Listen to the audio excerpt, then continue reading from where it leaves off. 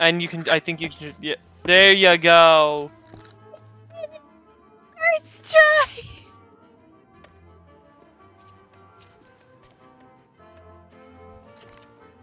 No, I don't. I just. I just want